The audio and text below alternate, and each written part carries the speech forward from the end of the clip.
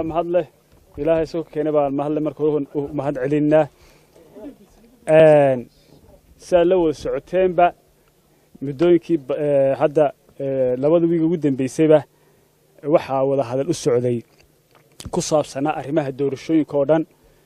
Axsaabta mucaara axsaabta somalilan guud ahaanba waxaa kaloo runtii aad la socoteen inaan bishii sebtembar laftigeeda muxuu ahaa sagaalabiy labaatankii sebtembarna aanu wada hadallada aanu hore u bilownay oo mar istaageen. Bishan disembarna dib ay noogu bilaabmeen. Marka waxaan horta ummadda u sheegaynaa haddaanu nahay xisbiga ucid iyo walaahay kale xisbi kumiyaba inaan xaggayga wada hadalladaasi noo socday aanay istaagin ay muxuu ahaayey sidii awalba ay u socdeen ay u socdeen ole oo ajendaanu samaynay timetable baanu samaynay aanu ku soconaynay aanu ka wada shaqaynay saddexda xisbiba. Ajendaha waxaa kow nooga ahaa oo aanu ka doodayna waxay ahayd arrinta commissionka doorashooyinka qaranka oo runtii xisbiga wadani markii horena uu consern ka keenay wada shaqayntooda uu runtii ku dhawaaqay inuu joojiyeen. Labadeeda xisbiye kalena aanaan la qabin inay wada shaqayntaa ay joojiyeen amba commissionka oo meesha ka baxa aanaan la qabin bay runtii ayaan marka horeba anagu aan xisbi ucid iyo kulmiya ay mowqif mowqifkoodu ahaa inaan commissionka hadda taagan aan muxuu ahaye wakhtigiisa uu dhammaysto maadaama ay sabab aanu hadda dee aanu wada shaqayntiisa u joojinaa mid sharciyan iyo mid kale mid toona aanay oolin wada runtii muxuu ahaayey inaanu wada shaqayntooda institutionka dee madaxa bannaan maadaama yahay aanu ku ixtiraamno oo dee teeramkiisa shanta sano la doorto uu dhammaysto ayaa marka hore mowqifka u cidna ahaa kulmiyana runtii uu qabay. Haddaba si ay wax inoogu hagaagaan oo markaa dee mawaaqiftaa la kala taagnaa uu meesha ay uga baxdo oo marka mowqif dhexe la isku yimaado oo ay doorashooyinkeennu maadaama inagu soo fool leeynaha ay si u qabsoomaan. Ayaanu isku nimi saddexda xisbi. Xisbigu waddanii wuxuu qabay inaan commissionkaa la kala diro. Labada xisbiye kalena waxay qabeen inaan la kala dirin. Marka ucid baa waxay soo jeedisay. Soo jeedin ah in laba xubnood oo dheeraad ah lagu daro.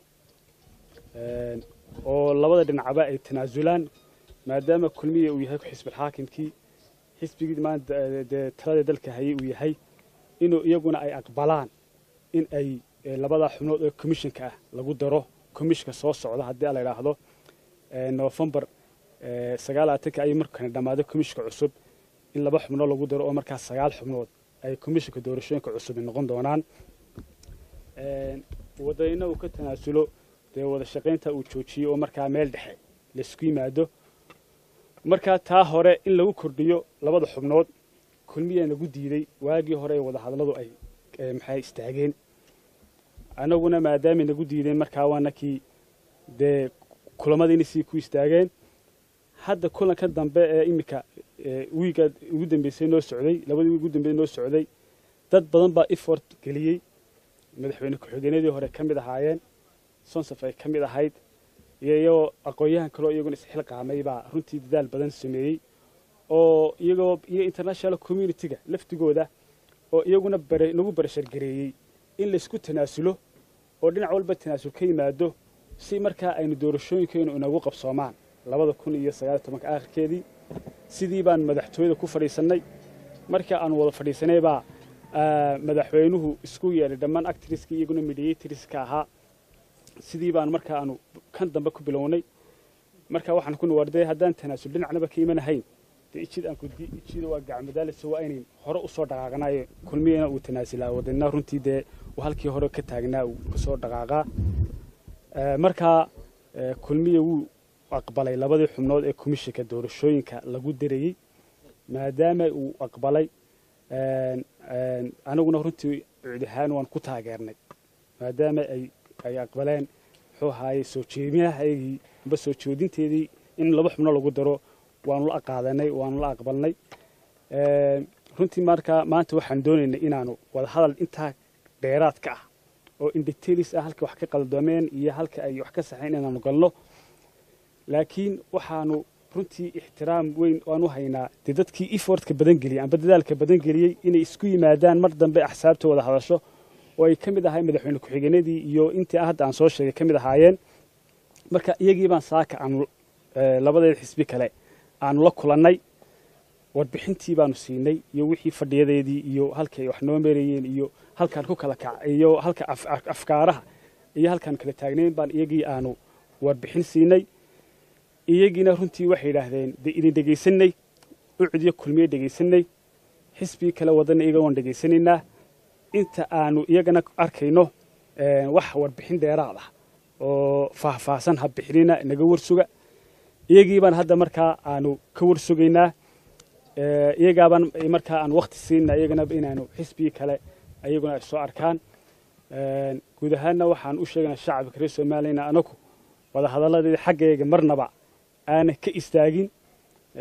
Diyaarna aan u nahay inay sii socdaan oo runtii markaa ay sii socdaan sida ummaddu masiirkeeda maanta shan iyo tobankaa sano golayaasha fadhiya iyo golaha deegaanka ka muddo dhaafay inay de markaa ay doorashooyinkeeda inoo qabsoomaan si inoogu qabsoomaan baan runtii de markaa aanu maanta iyagana aanu runtii dee aanu u jecelnahay inay waxaan isku afgaranayay meelaha aanu differencega waxaa noo dhexeeya in aanu qolo walba runtii dee muxuu ahaye ay dee ka tanaasusho si in markaa dee guusheen u soconno ah inay doorashooyin noo qabsoomaan duniyadoo dhanna inay soo eegeyso maanta international communitygu halkay inoogu yimaadeen inay markaa ay inagu bereshagareynayeen inay doorashooyinkeena qabsanno labada kun iyo sagaaliyo tobanka.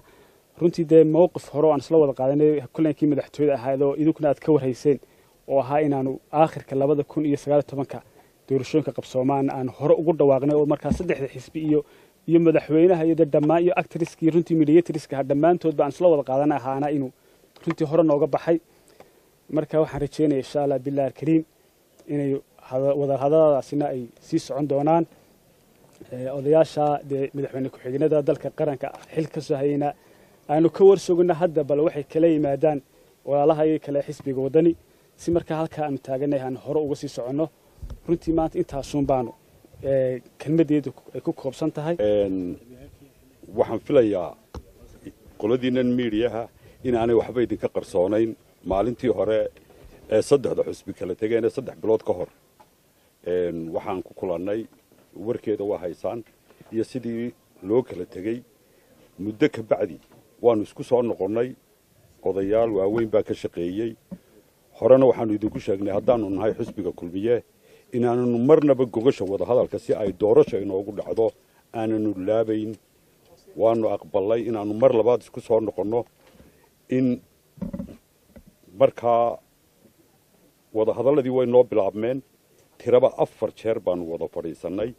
Waxaannu isku haynayna waa ka dherigsantiin bay ila tahay waa laba qodob bay ahayd oo labada xusbi macaarid. Midna xusbiga waddani wuxuu lahaa commissionka hala kala diro. Maanu ka aqbalin horena waan idinku sheegnay inaanaanu aqbalin. Waxaanu doonaynaa doorashadii waxaanu isku raacnay dhammaantayo inay dhacdo ka inay doorashadii inoo dhacdo. Si golayaasha muddo dhaafay golayaal cusub inoogu yimaadaan. Waxay ku dhici kartaa doorashadaasu ka oo commissionkiina hadlay oo ay yidhaahdeen toban bilood baanu ku qaban karaynaa si loo dedejiyo fadhiyo isdaba jooga baanu samaynay. Intii aanu isku soo noqonnay waxay ahayd in labadii qodob tanaasul ka yimaado labadaa qodob oo ahaa in commissionka la kala diro iyo in commissionka la kordhiyo. Wax laga bedelo sidaa uu qaabkiisu yahay lana kordhiyo. Commissionka doorashadiina inoo dhacda ka oo commissionkanu inoo qabto. Annagu halkaasaanu isa soo taagnay xusbiga ucud ifoord badan buu geliyey aad baan ugu mahadnaqaynaa. Annaga dhinaca ayaga iyo dhinaca kaleba hore waanu uga diidnay in commissionka la kordhiyo. Commissionka cusub ee iman doona in la kordhiyo waxaanu aqbalnay inay doorashadii inoo qabsoonto ka. Ayaanu doonaynay waa midhkaanu doonaynay. Ta keliyay ku suurtogelaysaana waxa weeyaan inaa aqbashaan labadaa xubnood ee lagu dari doono commissionka cusub. Annaguna waanu aqballay kii horena kamaanu kicin. Fadhigan imakana kamaanu kicin. Warbixin dheer oo fara badan iyo detailska dib baanu u dhiganana inta odayaashaasi ku maqan yihiin